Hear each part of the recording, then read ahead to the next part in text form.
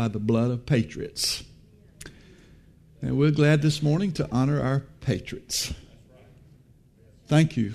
Jesus said, No greater love hath the man that he laid down his life for his loved ones and his friends.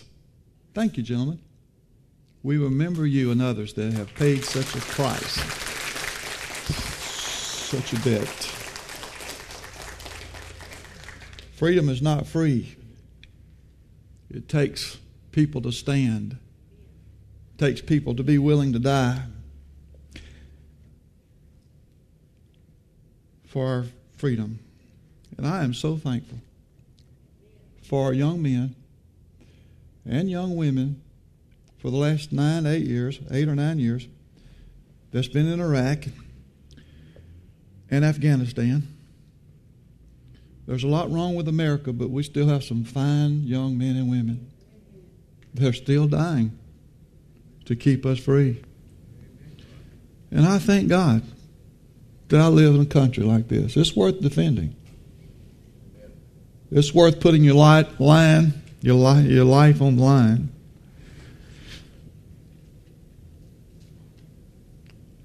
It's a wonderful country to live in. I'm glad that the Lord Jesus came 2,000 years ago and died for us. I'm glad that we have a nation, we have a country such as ours. And don't ever forget that there's a battle going on right now. And we are, our culture, we are eroding, and America is in the battle of their life. We're in a culture demise. Our culture is rotting inside. What we tolerated yesterday, we feel the effects of it today. And what we tolerate today, we will feel the effects of it tomorrow. We are, we are reaping some toleration from past, and we'll reap some toleration to tomorrow, what we're doing today. It was much like that 3,000 years ago. In the book of Daniel, we go, chapter 5. And before we go, Ginger, you, you don't have a song this morning, do you?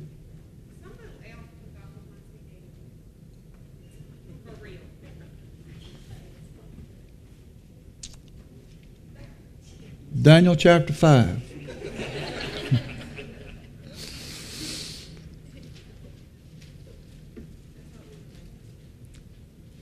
it's good to be here this morning.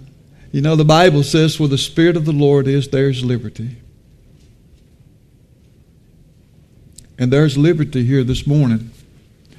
I believe the Holy Spirit has been visiting with us, and it was evident this morning that He has visited through the baptism of Katie Beth. What, what a, y'all just don't know. As a pastor, to see the Holy Spirit deal so much with these young children and our, our youth is just phenomenal. And uh, as watchman, I, I, I'm stirred in my spirit to watch because we see history repeats itself. Y'all know that? What happened 3,000 years ago is happening today as I was thinking and preparing and meditating upon what to preach this morning, it come to my mind what to preach. And I did some research and I looked and I studied and and uh, I went to Daniel chapter 5 and I found a king over there named Belshazzar. He was the king of Babylon. The children of Israel were in captivity in Babylon. Daniel was a prince there, Shadrach, Meshach, and Abednego, and they went through Nebuchadnezzar's reign. Belshazzar was in power. And uh, most of you that are Bible students know that, that, that serious things happened to Babylon. The same things are happening to America today. For the big thing is they lost their remembrance. They forgot what happened. America is forgetting what happened. If you would uh, go back and look at the charter of Maryland and, and, and some of the early nations that early states, Delaware and Maryland and Connecticut, you would see them all have a charter that read something like this The Rhode Island Charter, 1863. We submit our persons, our lives, and our estates unto the Lord Jesus Christ, the King of kings and the Lord of lords, and to all those perfect and absolute laws given us in His holy word. Maryland, Delaware, Connecticut, all had these in their charter. Now, we were thinking about adding the 51st state to United States, Washington, D.C., I would wonder what that charter would read today. Are y'all listening? We have rotted as a nation.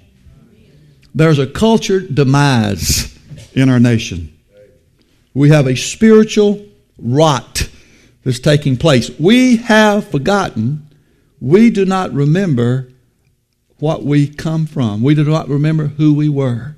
We've lost our remembrance. And uh, we are in a, a, a culture meltdown. America's different. It was founded differently. If you would go to, to Canada, which the French settled Canada, why did they go to Canada? They were looking for gold. If you would go to Mexico, the Spanish went to Mexico. Why did they st- settle in Mexico? They were looking for gold. But in America, why did the English come to America? They were looking for a place where they could worship the Lord. 3,000 years later, after King David and Solomon had one of the greatest empires of all the world, God raised up a land and a people, and that was called America. I don't know if that's sinking in on your mind like it's sunk in on mine, but it's quite phenomenal, and I'm not ready for one. I'm not ready to give up what we have. When a nation loses its remembrance, it's a nation about ready to fall. 3,000 years ago, there was a nation that forgot who they were. They lost their remembrance. Would you like to look with me in Daniel chapter 5 and let me prove to you what I'm saying this morning? Belshazzar, which was Nebuchadnezzar's son, he had forgotten. He forgot what happened to his father. Nebuchadnezzar, Belshazzar's father, was given a, a, a stomach of a beast and claws on his fingers like eagle's claws. He was caused to eat the grass of the ground. Why? He was lifted up in pride. Belshazzar had forgotten what his father, what happened to him. It, let me tell you something. It's a price to pay every time a nation forgets who they are. You have a price to pay.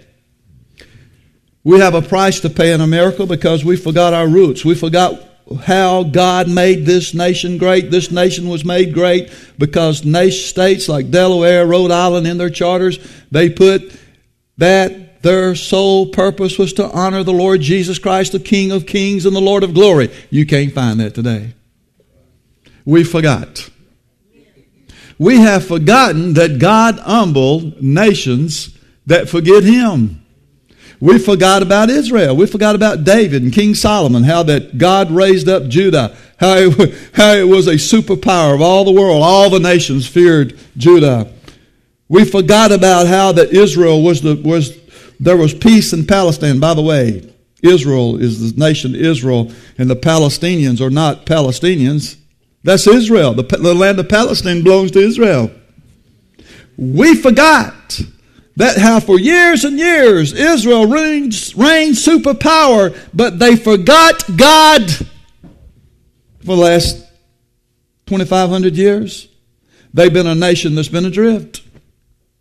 They forgot God. They forgot about how God established them and gave them superpower status. America's been one of the greatest places in the world to live in all the history of the world. There's never been another nation like America. We have been the witness of the world. We have technology that no other world in the history of mankind has enjoyed. We have privileges and we have freedoms that no other nation in all the world has enjoyed, mainly because we had young men that would serve and defend our freedom and paid for our freedom with their blood. Freedom is not free in this violent world today, it comes with a price. Can I say to you something this morning? There's going to be a price because we haven't remembered who our King of Kings is. We've forgotten the Lord in America. And it's come to a sad time for us. Judgment came upon Judah, judgment came upon Babylon, and judgment will come upon America. God birthed us, God gave us this nation, God established America. He's been with us. The second thing happened to to Babylon. They lost reality. We're losing reality in America. We have lost reality in America today. The other day I looked on Yahoo News and there's a little beetle, a little bug over there that, that's eating up millions of dollars of crops that come from Asia. Our bread, basically from apples to tomatoes, has been eaten up. We've had floods in the Mississippi that have destroyed a lot of our prime farmland. We've had a war that's been going on eight and nine years. Uh, America's lost a sense that in reality the enemies lie at our gate. and you might say, Not in America. We are great. We have the most sophisticated armies of the world, and we rightly so. Praise God for those armies we have. We have technology in our military that's phenomenal. We have a defense system that's phenomenal. We have men and women that serve valiantly. But the enemy lies at the gate in America. We've lost reality. The reality is that, that while we're partying in America, the enemies lie at the gate. While America's is drunken today and we in our parties and, and we're shouting and our modern religion today, we bring in the world's culture even in our modern religion today. If we're not entertained and we're not, our soul man isn't stirred, then we don't even go to church anymore. We got to have some type of, of uh, a soulish stir. We've lost reality. Y'all listening this morning? We don't remember how America was established. Secondly, we've lost reality. There are enemies that want to destroy us. China has copied all our technology and our, in our modern arsenal of military might. We have nations that's copied what we have. And we have destruction and rot coming within with pestilences and storms and tornadoes and economic woes and, and $14 trillion of debt. The enemy lies at the gate and America has lost its reality. Amen. We don't remember and we've lost reality. The same thing happened to, to modern day Babylon or ancient Babylon. The same thing is happening to modern America. Look with me in Daniel chapter 5. I, by, the, by now, you should have time to have gotten there. Chapter 5 of Daniel. Daniel was facing the same things we face today. He was a Christian man, a man that loved God, a man that desired God, but he was in a culture that went tragically sour. We're in a culture today that's gone tragically sour. We've moved away from being remembering who we were, and we've lost reality. So, what was going on in, in ancient Babylon? Let's look. Verse 1, chapter 5 of Daniel. Belshazzar the king made a great feast to thousands of his lords and drank wine before the thousand. I'm not going to I'm not to elaborate on this much. But a man called me the other day and said, Boy, we having tornadoes and floods and storms over here, and some of our leaders is overseas drinking wine. And this verse come to my heart.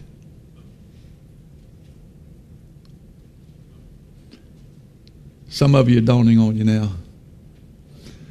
We're still having parties, and we're still getting drunk, and we're still worshiping the thousands of false gods in America, the same thing Belshazzar was doing the gods of pleasure, the gods of wine, and the gods of immorality. And here's the setting he'd lost reality. Now, what was going on in ancient Babylon? Well, if you could imagine going over here to Sugartown, then driving over to Pitkin, then driving over to Union Hill and back to Elizabeth, and if you could imagine an empire, that city that size, with walls all around that city and a 20 year ration of food, you would feel comfortable too, wouldn't you? And walls that no enemy could penetrate. Well, there was some enemy outside of ancient Babylon. Cyrus, the Medes and Persians were out there and they wanted to kill everybody inside. But they weren't worried. They had the best defense system in all ancient history. A 60 mile wide high fence. Nobody could penetrate in. So why not celebrate? We got 20 years supply of food. We're in good shape. Nothing is going to happen to our kingdom. But they lost reality. In America today, we don't think nothing's going to happen, do we? We've lost reality. They're at our gate. Judgment is at our gate. It's on the way. It's here. While they were drinking and getting drunk, God was looking in. Verse 2 He lost his remembrance. He lost his reality. He forgot what happened to his father. He forgot that God humbles a nation that gets too proud. He forgot what happened before. He forgot reality.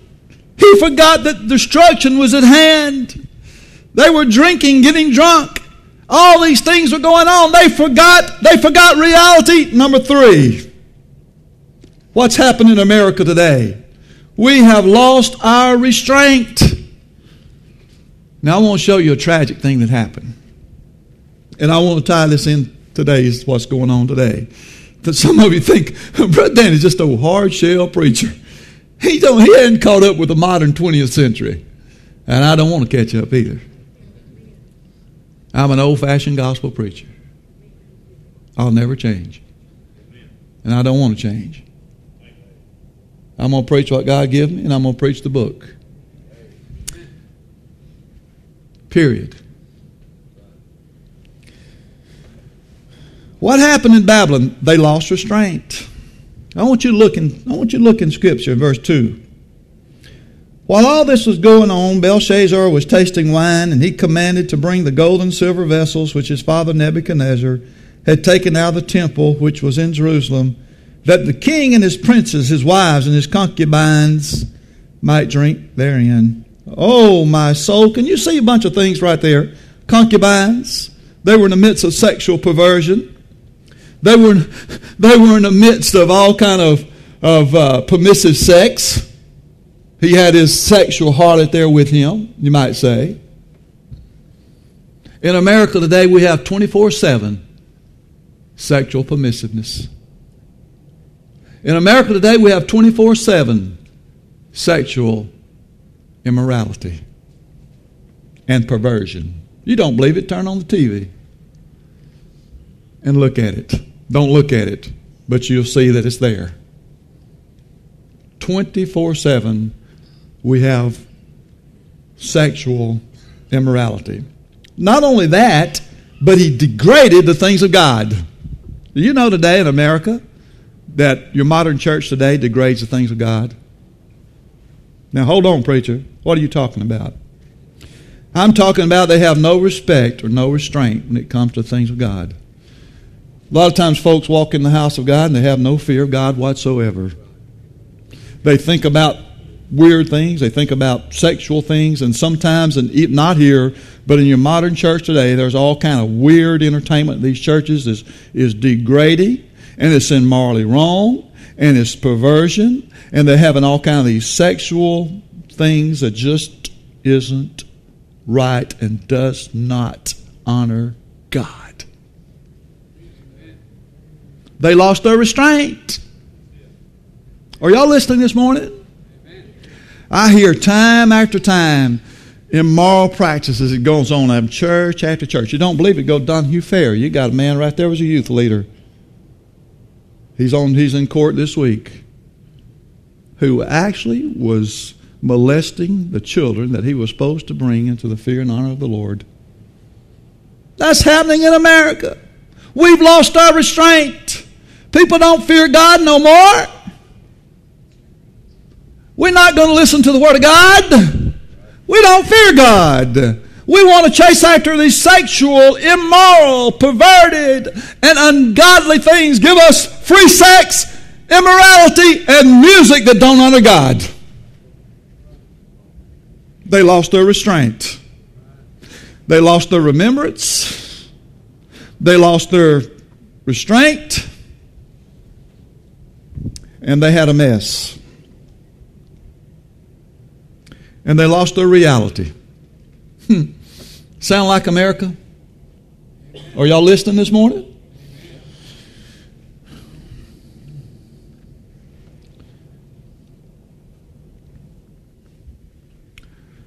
The modern father today, you know, but he's not worried about his children. Nah, he don't want them. Nah. All he wants to do is make more money. He's forsaken his wife. He's forsaken his children. And young people today, they already they already feel like they're unwanted, and a lot of them are neglected. The average child today is unwanted and they're neglected. They don't have a role model to look up to. They don't have a father that says, you know, we're going to put God ahead of wealth and money. We're going to put our family before we think about making money and seeking after gold. America is different because when we come to America, we wanted freedom to worship the Lord Jesus Christ. We weren't seeking gold, we were seeking the God of heaven. Canada and, Mexico, they wanted gold. French and Spanish, they wanted gold. But in America, we wanted God. But in America today, we don't have a true father figure who loves God and loves his family more than he loves gold. He'll leave his children, he'll leave his wife to get another green dollar. It come from a tree anyway.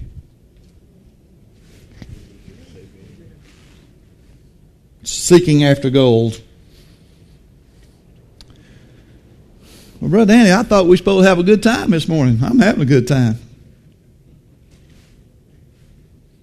But this is where we at. We've lost our restraint. Today we have children that are unwanted and undisciplined. Can I say that again? I have a right to say that. I work with 2,000 seventh graders every year. A lot of them unwanted. And they're crying out for someone to discipline them. And the first thing I do, I get order in my house. And I pick the biggest, baddest one there who thinks he's big and bad, and we have a come to Jesus meeting. And, Brother Robert, we have order.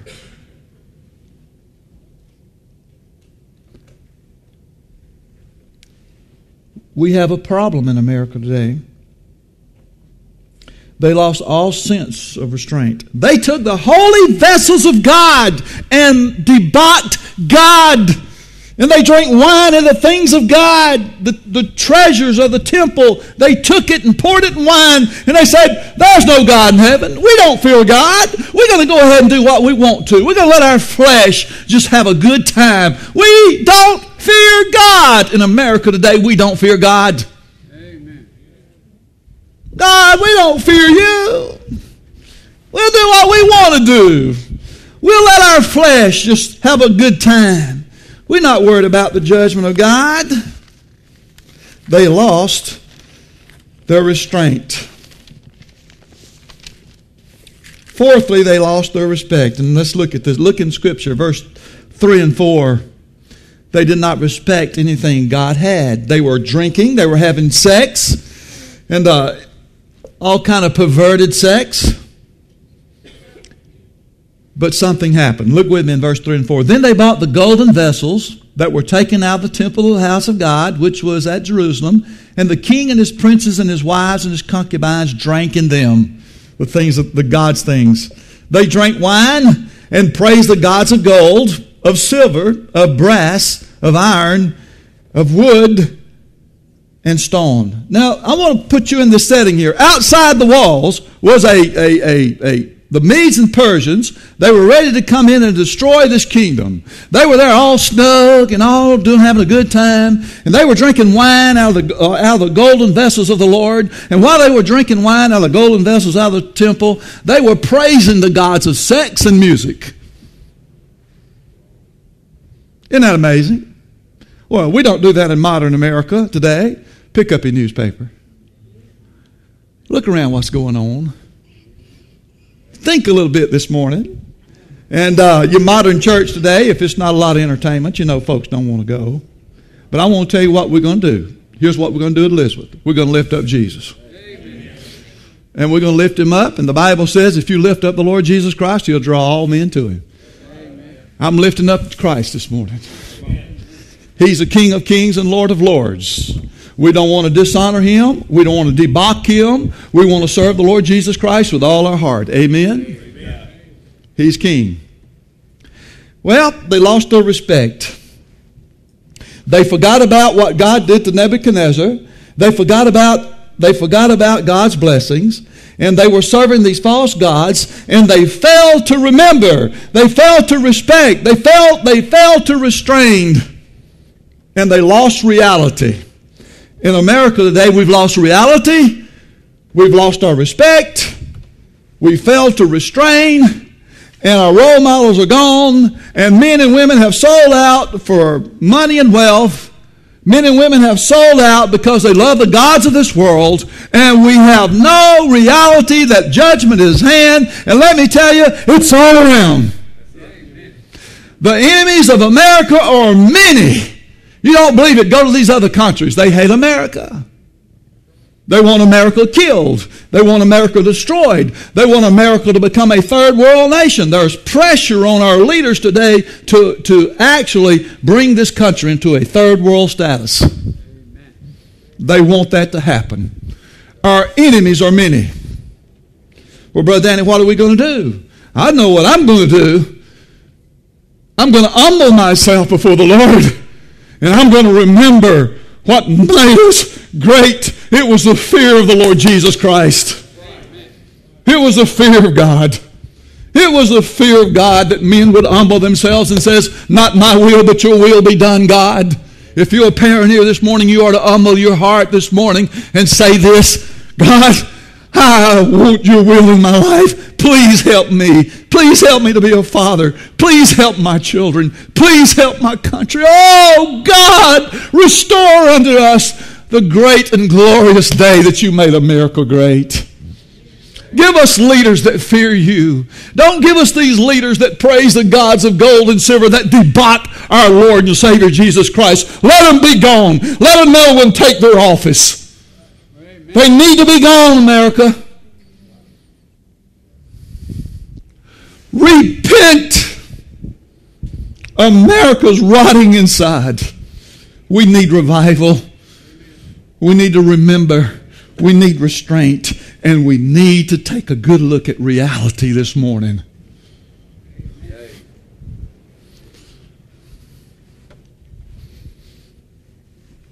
What happened, Brother Danny? well, you always notice that when people are drinking and having a good time, they don't want the preacher around.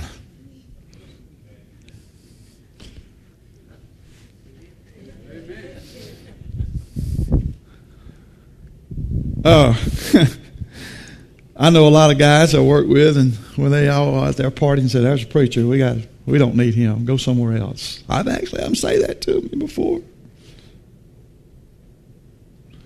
We don't want you around. We we're having a party.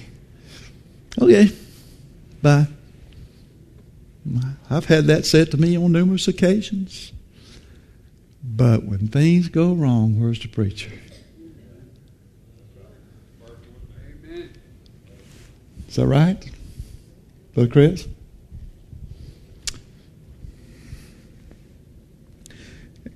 In chapter 5, we read an astonishing thing. In the same hour came forth the finger of a man's hand and wrote out over against the candlestick upon the plaster of the wall of the king's palace. And the king saw the part of the hand that wrote. And then the king sobered up. He got sober. Oh my goodness, a supernatural event. Can you imagine a wall there with a man's finger just coming up there writing? And he started saying, Give me somebody to interpret what's going on. Well, there come a preacher along named Daniel. And he told him what happened, what was going on, what's wrong. Look with me in verse 20. And here's what he said. He said, You know what? You didn't remember. Remember what happened to your father, Belshazzar? But when his heart was lifted up and his mind hardened in pride, he was disposed in his kingly throne, and they took his glory from him. Remember, Belshazzar? You forgot. America, remember the Lord Jesus Christ when you took you America, you know you're taking him out of the schools, you don't want Jesus mentioned. You remember Delaware and Connecticut and Rhode Island when they wrote their charters that they put Jesus Christ's name in there? America, you forgot. Are y'all with me this morning? Amen. Remember what happened to Belshazzar? He was driven out and he was given a he was given a heart and made like an animal, like a beast. Remember America? Have y'all seen Greece and all those nations over there where their economy collapsed? What's happening over there? Have y'all looked at the news lately? Men and women in the street like animals. They're like animals trying to find something to eat, trying to get a hold of a little money. Do you think that can happen in America? Their money collapsed. Their gods of gold and silver let them down.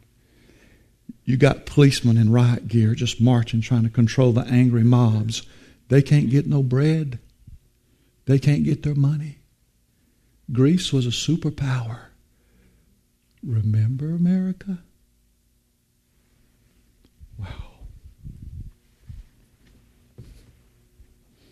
But then we want a preacher makes us feel good. What happened? Chapter 4, verse 32, look at it, of Daniel. I hope you in your Bible. And they shall drive thee from men. Thy dwelling shall be with the beasts of the field. They shall make thee to eat grass as oxen. And seven times shall pass over thee until thou know that the Most High. Now look at this. And thou know that the Most High ruleth in the kingdom of men, and giveth it to whomsoever he what? Somebody say that loud enough for everybody here. What does that tell me and you? that God's the one that blesses kingdoms. God's the one that gives the blessings to the kingdom. He can turn us into beasts and animals, and He can take away our blessings. But they lost their remembrance. Verse 22. And thou son, chapter 5, thou son, O Belshazzar, hast not humbled thine heart, though thou knewest all this. Now I want you to look at verse 22. Belshazzar, you know what Daniel said to him? You know what the preacher said that they didn't want around while they was drinking alcohol? You know what he said to him? King, you forgot. Look at that. King, you knew all this, but you forgot. You're not humble, king. Verse 25. And this is the writing that was written. Now look at this real close. Mene in or Arabic is what it means. Daniel gave it to him in Arabic, and here's what it means You're weighed and numbered. America, we're weighed and we're numbered. The second word, Tekel. If you can picture a pair of scales and they balance, it don't balance. Judgment. America we will bal- don't balance. They're weighed in the balances and found wanting. What does that mean? That means we've come way short. That means in America today, we have 24 7 on the TV, we have all this degrading sex and free sex and, and uh, sex outside of marriage. And, you know, God, sex is good, but it's for marriage. In America today, we have all this perverted sex going on, just and you can look at it 24 7 on TV. You're weighed in the balances, America, and you're found wanting. Men, you put your money before God. You put your money before your children. They feel unwanted and they're undisciplined because you're searching after the gods of this world. Men, you're found wanting. You don't balance. What's left when you don't balance? Would you like to know? Would you like to ask David and King Solomon and Judah? They were superpowers of the world, but they forgot God, and God judged Israel. He judged Babylon. And the Bible says judgment begins at the house of God. What are we going to do, Brother Danny? I'll tell you in a minute. Look at the next word. Not only are we found wanting and we don't balance, not only have we forgotten, but the third word is Peres. What does that mean in Arabic? He says it's divided, it's split, And what happened? Would you like to know what happened to this nation? Ancient Babylon. These walls that they couldn't penetrate, there was these Medes and Persians out there, and their mind was constantly set on how we're going to destroy this world, how we're going to destroy this Babylonian empire. And what happened was they drained the Euphrates River, they let the water run out in the swamp, and they walked in under the walls on dry ground, and they came in that nation, and they slew that nation, and they conquered that nation that thought it was unconquerable. America has enemies. There are people out there ready to destroy this country. June the 6th, 1944, America had its finest day. One of the greatest generations of men and women rose up and stormed the beaches of Normandy. And about a month later, there was one million soldiers in France. In Europe, there was one million soldiers that were there ready to dethrone Hitler and his diabolical army. It was a